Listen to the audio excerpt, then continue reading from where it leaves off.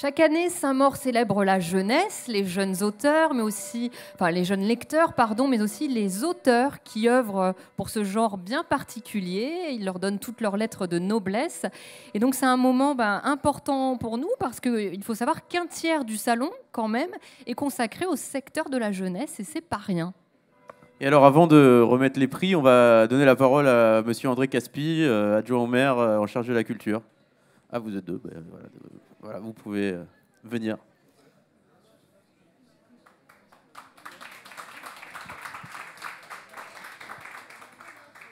Je vous remercie de m'applaudir avant que j'ai dit quoi que ce soit.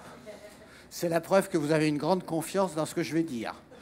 Euh, je voudrais simplement, au nom de la ville, euh, vous exprimer notre plaisir de récompenser des jeunes, parce que au fond, euh, un livre, par définition, ça s'adresse à un public adulte, mais ça s'adresse aussi à un public jeune. Et ce qui me ravit particulièrement, c'est que au sein de ce collège Rabelais, dont la principale est ici présente, c'est Madame Yousfi, il y a une classe, la classe de Madame Laurence Riff, qui a mis en place euh, ce rablog. Alors, euh, j'ai eu du mal à comprendre exactement ce que voulait dire rablog. Je croyais avoir compris que rab, c'était Rabelais. Pas du tout. C'est le R qui est Rabelais. Et alors après, je ne vous dis pas ce qu'il y a parce que c'est trop compliqué, mais le A signifie R, signifie art, puis il y a blog, puis il y a quelque chose. Bref, le rablog, c'est la possibilité pour ces élèves de communiquer entre eux, de faire part de leur réaction devant l'ouvrage qu'ils ont lu. Et c'est au fond un moment, un lieu de libre expression. Et c'est cela qui nous fait plaisir parce que ça veut dire qu'au fond, les enfants, les jeunes lisent. C'est très important. On dit souvent que les, les jeunes sont obsédés par leurs iPhones. Bon, c'est vrai. Marquez les adultes aussi. Mais euh, en plus, euh, si les jeunes lisent eh ben, des livres, ça veut dire que tout n'est pas perdu, que la culture euh, dure et que la culture a un avenir, ce qui nous ravit particulièrement.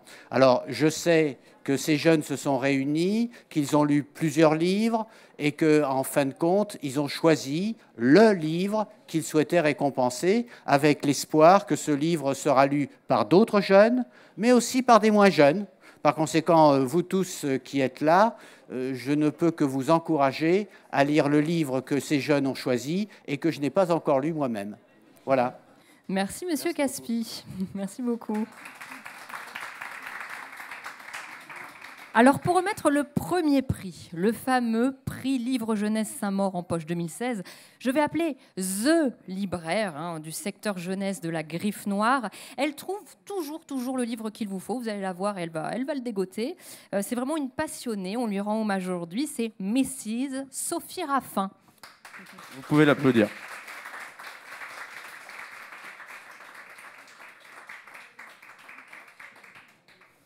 Vous ne venez pas seule d'ailleurs, Sophie. Hein Alors Sophie. Oui, bonjour. Qui a Alors, le prix j'ai plus l'habitude de, de, travailler avec les enfants. Je parle beaucoup plus facilement avec les enfants qu'avec les adultes. Je suis désolée. Mais nous sommes tous des grands enfants. Oui. Donc, euh, je voulais annoncer, nous avons un prix jeunesse. Alors, c'est deux auteurs. Pour moi, c'est c'est le rêve. Il faut l'avoir dans toutes les bibliothèques pour les enfants. Voilà. Ourson le Terrible. Ourson le, Terrible. Alors, vous avez l'auteur et l'illustrateur. Christian Jolibois et Marianne Barcillon. Ben, voilà, tout à fait.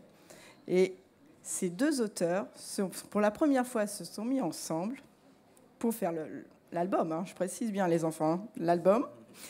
Et c'est vraiment une beauté. Une beauté. Alors, pour, là, je vois qu'il y a des grands enfants, pour les petits frères et les petites sœurs. Hein, c'est cette, voilà. Et alors maintenant, on va peut-être venir à, bah les auteurs quand même. Donc Christian Jolibois et Marianne Barcillon. on y... Vous pouvez les applaudir. Bravo. La, maman et le papa de l'ours. Bonjour. Vous êtes content? Ah oui, on est ravis. surpris? Non, vous étiez surpris? Euh, Ah bah oui, oui, très surpris. Enfin, non, il est super ce livre, donc on n'est pas si surpris. Et alors, racontez-nous un peu l'histoire de Ourson le Terrible. Ben, Ourson le Terrible, il ressemble à beaucoup d'enfants d'aujourd'hui. C'est-à-dire qu'il est très vivant, extrêmement vivant. Et, et il a un cœur d'or, évidemment. Et ça raconte aussi le fait qu'il ne faut pas juger euh, au premier coup d'œil. C'est-à-dire qu'il y a des choses qui peuvent nous déplaire chez un enfant. Oh, oh, oh, ce qu'il est chiant. Et oh, ce qu'il est pénible. Oh, il est affreux ce moutard. Et en fait, pas du tout.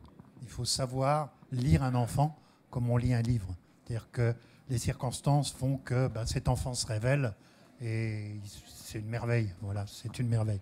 Jamais mettre une étiquette définitive sur les enfants. C'est à partir de quel âge qu'on peut lire euh, Ourson le Terrible? Oh, écoutez, euh, si on a la chance d'avoir un parent lecteur, euh, un papa ou un grand frère, dès 3 ans, euh, on peut plonger. Et puis après, quand on est plus grand, on comprend plus de choses, plus d'allusions. Donc je dirais, il n'y a, a pas d'âge. Il n'y a pas d'âge. De 7 à 77 ans. Oh, plus que 77. Très bien, bah, merci Bah, beaucoup. à tous Euh, vous deux, êtes merci là beaucoup. euh, aujourd'hui et demain, je crois. Ah oui, oui. Donc, euh, vous pouvez aller les voir, Vous rencontrer. euh, Vous les on peut rencontrer. vous faire la bise, on peut vous euh, raconter des choses sur Ourson le Terrible. Vous pouvez, euh, on est là à votre disposition. Voilà. Merci beaucoup, Bah, Christian merci Jolibois bravo. et Marianne Barcillon. Merci. Et bravo encore.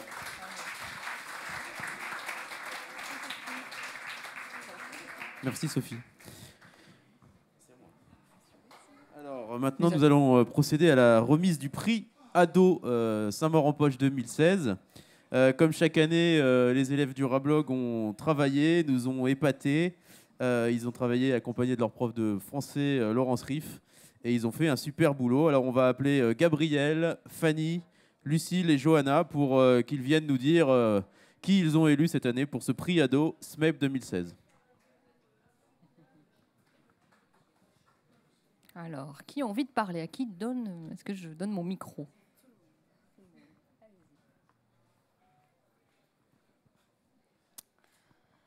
Bon bah euh, bonjour, nous sommes euh, les élèves de 5e du collège euh, François Rabelais, euh, bah, de la classe de Madame Riff. Euh, bon bah déjà pour commencer, euh, pour ceux qui se demanderaient, Rablog ça veut dire Rabelais, art, euh, blog, euh, littérature originale graphique. Nous sommes très heureux d'être ici parmi vous. Nous avons, eu le, nous avons eu le plaisir de lire toute une sélection de livres et nous allons maintenant décerner le prix euh, du meilleur livre jeunesse.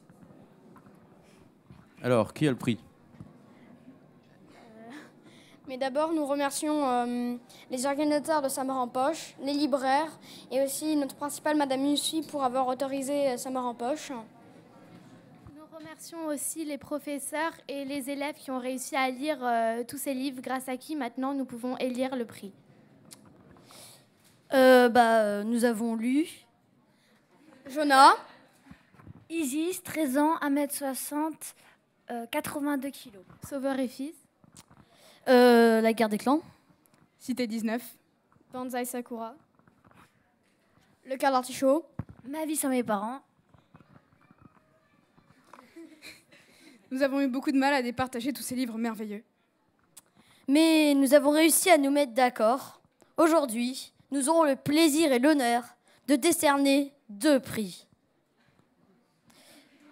Euh, bah, euh, déjà, pour commencer, bah, euh, le prix adolescent de Saint-Maur en poche.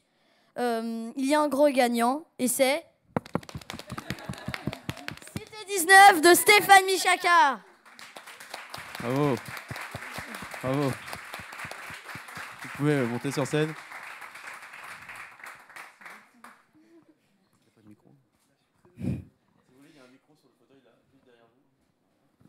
Merci Rablog. Merci. Hein.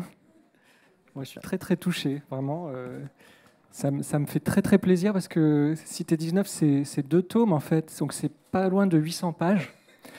Et j'aurais pas parié que ce livre de, de 800 pages euh, pourrait plaire euh, et, être lu avec gourmandise par des, collégiens de 5e. Euh, quand je l'ai écrit, je ne pensais pas à un public particulier, même si je savais que je voulais écrire un, roman jeunesse. Avec mon éditeur chez Pocket Jeunesse, on, se disait à partir de 14-15 ans. Et je crois qu'il a été présenté comme ça par, euh, par PKJ. Et en fait, c'est par rapport à ce que disait André Caspi, on ne peut pas euh, présager de qui va lire euh, un roman jeunesse aujourd'hui. Et ça peut commencer très tôt, et je vois des, enfants de 11 ans parfois euh, qui ont envie de lire Cité 19, qui se plongent dans ce livre, qui font le voyage dans le 19e siècle avec Faustine. Et ce qui m'a fait très plaisir quand j'ai écouté l'émission de Rablog, c'est que l'une de vous dise on voyage avec Faustine et on voit le vieux Paris avec les yeux de Faustine et ça fait du bien. Et c'est exactement ce que j'ai essayé de faire dans ce roman. Alors ça m'a vraiment fait chaud au cœur. Et donc, euh, merci de, vous être plongé dans, Cité 19. Moi, ça m'encourage à écrire des livres différents, euh, des livres où on, voyage euh, à travers les genres aussi. C'est un livre d'histoire qui devient, enfin, un roman historique qui devient un polar, qui devient un moment de la science-fiction. Et ça, d'habitude, les éditeurs vous disent il faut choisir. Hein. Donc, et là, on m'a dit fais ce que tu veux. Et bah, le fait d'avoir ce prix, ça, ça, ça confirme qu'on a bien fait. Merci beaucoup. Merci Stéphane Michaka. Bravo. Et vous avez donc un, il y a un autre prix, si je ne me trompe pas. Est-ce que c'est bien le prix coup de cœur livre jeunesse Saint-Maur en poche? Et alors, qui va le remettre? On m'a dit Mathilde, Ilan et Julie. Non? Ça a changé? Alors je vous laisse faire. Alors allez-y. Euh, nous avons décidé de remettre un prix coup de cœur à un livre que nous avons tous vraiment beaucoup aimé. Et ce livre, euh, c'est Sauveur et Fils de, Mario de Muraille. Bravo. Est-ce que Mario de Muraille est là? Voilà. Et alors pour remettre, euh, pour recevoir ce prix, on a Véronique Aids qui représente bah, l'école des loisirs et qui va venir. Bravo à vous. Bravo à Mario surtout. Bonjour. Ben, merci beaucoup. Donc Mario ne peut pas être là, mais euh, quand on a appris que hum, Sauveur et Fils avait ce prix, Mario m'a dit Tu t'es trompé parce que le livre n'est pas sorti depuis assez longtemps. Et, et donc ils n'ont pas déjà eu le temps de le lire, mais apparemment si. Et donc elle a été voir votre blog et elle m'a écrit un petit mot pour vous. Alors je vais vous le lire. Chers amis, je suis allée voir votre site. Je ne pouvais espérer meilleur endroit qu'un rablog pour mon hamster. Merci de l'avoir si bien accueilli. En plus, vous avez tout compris quand vous écrivez qu'il y a au menu de mon livre une verrine d'humour, des histoires épicées et une grande dose d'amour. Amour et humour sont les deux mots-clés que ma maman m'a légués et que j'essaie de transmettre, notamment dans mes dialogues. Quant aux épices, oui, bien sûr, je ne recule pas devant les histoires un peu fortes en goût. Et puis j'ai vécu aux Antilles, cette, cette île dont parle Sauveur, aux senteurs de sucre et de vanille. Comme vous le dira mon éditrice Véronique, qui me représente aujourd'hui, vous êtes les premiers lecteurs adolescents de Sauveur et Fils, dont j'ai le retour.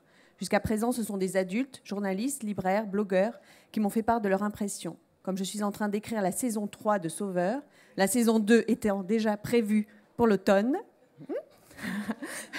votre coup de cœur pour moi est un encouragement très précieux.